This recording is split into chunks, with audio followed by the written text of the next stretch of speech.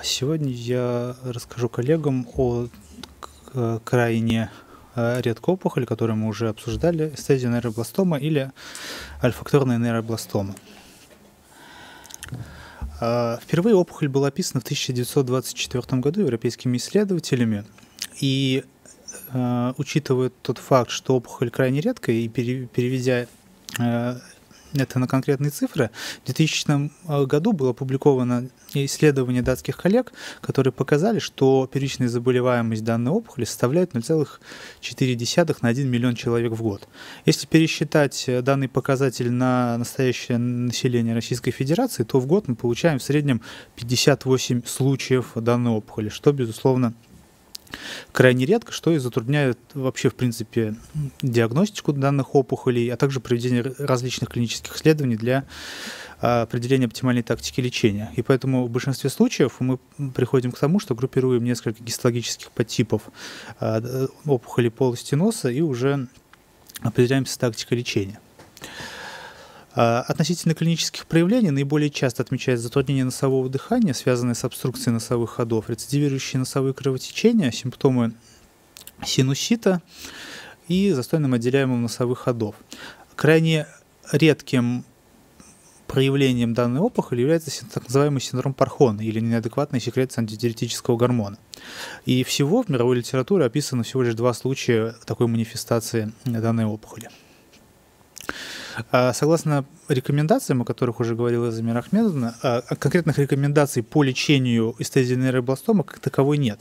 И данный, данный гистологический тип опухоли входит в группу опухолей решетчатого лабиринта и полости носа. При этом основное внимание занимает при диагностике а, осмотр мультидисциплинарной команды для принятия решения о тактике лечения, включающей лучевые методы диагностики, о которых уже э, говорила Ольга Игоревна. Что интересно, э, было проведено достаточно интересное исследование, опубликованное в 2017 году э, в журнале «Отделной медицины» по клиническому применению позитронно-эмиссионной компьютерной томографии.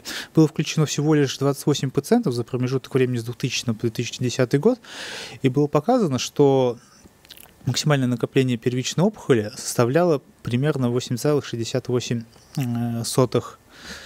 сотых. При этом диапазон находился от 3,6 до 23, 23. Э, при этом, что важно, при применении метода ПЭТ-КТ-диагностики изменение стадии было отмечено у 11 из 28 пациентов, что соответствовало 39%, а повышение стадии, согласно классификации Кадиша, о которой также мы уже говорили, составило 38%.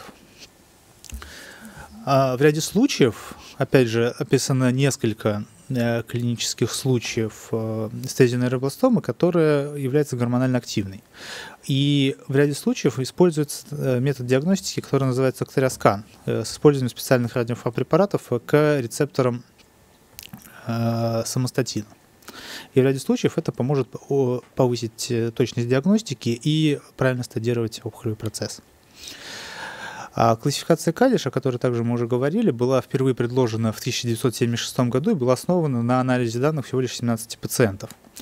А в 1993 году Марита с авторами модифицировал данную классификацию, добавив четвертую группу э, пациентов, у которых имеется распространение опухоли с регионарными или отдаленными метастазами.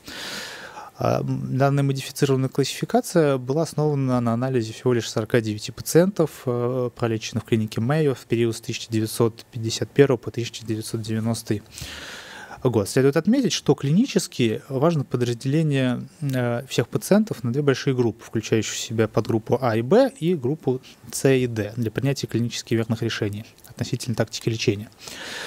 А гистологическая э, классификация также помогает определиться тактика лечения и прежде всего определяет э, прогноз данных пациентов. Чем выше э, грейд по данной классификации опухоли, тем, как правило, ниже показатели как общей, так и безответственной выживаемости.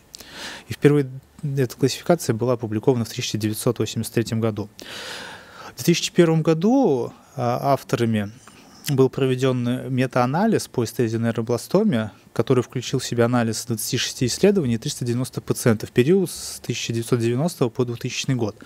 И была попытка привести э, э, классификацию эстезии нейробластоме к привычному онкологу системе ТНМ.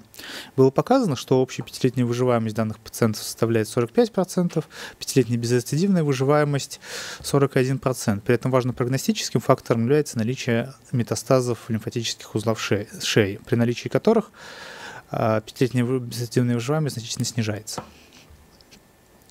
В 2019 году достаточно свежее исследование, э, которое было опубликовано в престижном журнале первого квартиля э, «Ларингоскоп», э, говорится о том, что регионарное метастазирование наиболее часто наблюдается в лимфатических узлах второй группы.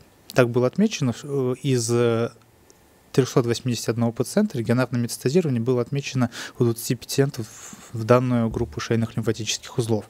При этом исследование основывалось на анализе так называемой СИР-датабазы. А в 2016 году э, исследователями из э, Memorial Slow Catering э, было проведено также исследование, которое оценивало вероятность метастазирования в регионарные лимфатические узлы шеи и отдаленные метастазы. Так, наиболее часто исследователям было показано, что отмечается регионарное метастазирование в лимфатические узлы группы 2b, 2а а и третьей группы лимфатических узлов. Также было отмечено, что в 25% случаев отмечается регионарное метастазирование в ретрофарингеальные лимфатические узлы. При анализе вероятности отдаленных метастазов также была показана положительная корреляция с группой по классификации КАДИШ. 2000, от 1993 года. Так, например, при группе КАДИШ-А десятилетняя вероятность развития отдаленных метастазов составляет 20%, а при КАДИШ-Си 57,8%. В то же время э, такой прогностический фактор, как инвазия опухоли в твердую мозговую оболочку, является очень важным, поскольку данные анатомических исследований показали наличие Э, наличие лимфатических сосудов в этой зоне. В 2018 году было опубликовано исследование, которое оценило клинический опыт клиники Мэя в период с 1994 по 2015 год. В анализ был включен 61 пациент, при этом у 34 из них отмечалась инвазия в твердую мозговую оболочку. При этом при наличии инвазии опухоли в твердую мозговую оболочку наличие положительных лимфатических узлов шеи, то есть наличие метастатического поражения составило 50%, в случае отсутствия данной инвазии всего лишь 22%. При этом отмечено статистически значительное значимая разница. Также была оценена вероятность билатерального распространения метастазов регионарно лимфатических узлы шеи. Так, в случае наличия инвазии в твердую мозговую оболочку она была отмечена у 11 из 34 пациентов, в случае отсутствия инвазии у 2 из 27 пациентов. А, проведено значительное количество исследований, оценивающих варианты э, лечения данной патологии, включающих сочетание хирургического лечения, химиотерапии и лучевой терапии. Однако следует отметить, что во-первых, из-за того, что опухоль достаточно редкая, количество пациентов и наблюдений достаточно маленькое. И второе, это длительный период наблюдения, который включает, по сути, десятилетия. А если говорить о хирургическом лечении, то в 2021 году была опубликована статья, которая сравнивала результаты открытой эндоскопической резекции стезию нейробластома.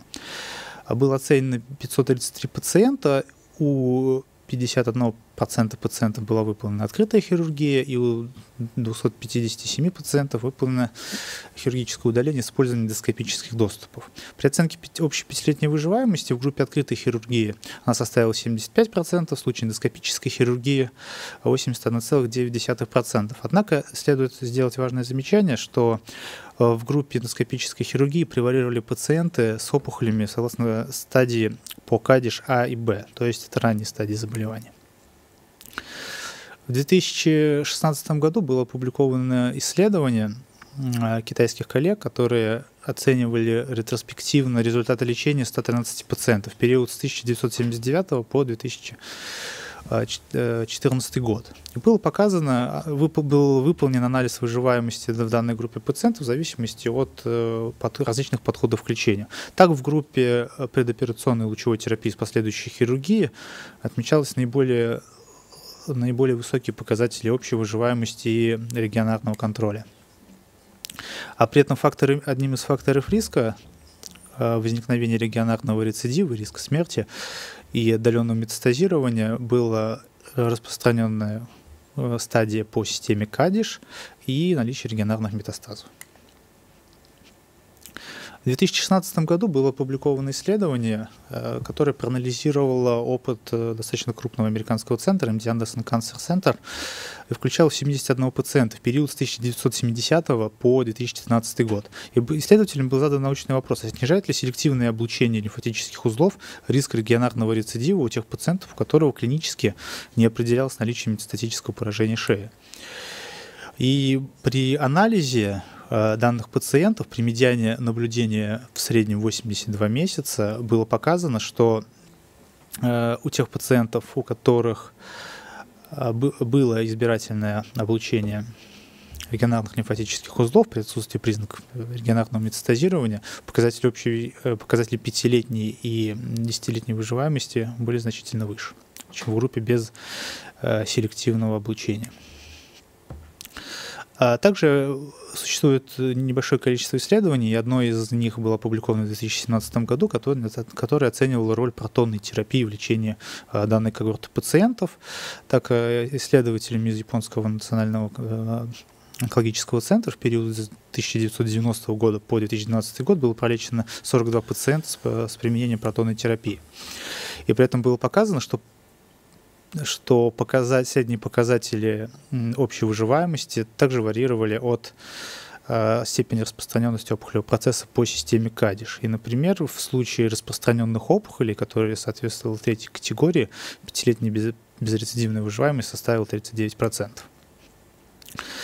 А также в литературе в настоящий момент обсуждаются вопросы неодевантной химиотерапии перед проведением либо хирургического лечения, либо либо проведения радиотерапии.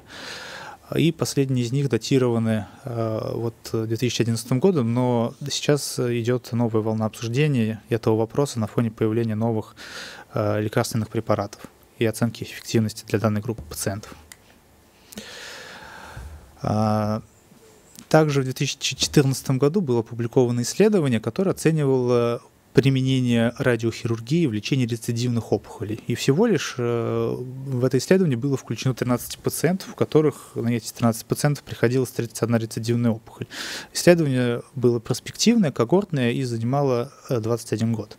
И было показано, что при медиане наблюдения в 36 месяцев Частичный ответ был отмечен у 48% э, пациентов, стабилизацию 41% пациентов. Спасибо за внимание.